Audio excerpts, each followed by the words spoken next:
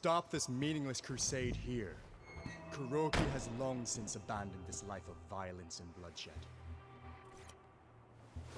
Turn around and leave now. Nobody outruns their past. Not even her. Wrong. She left this path and you won't pull her back in.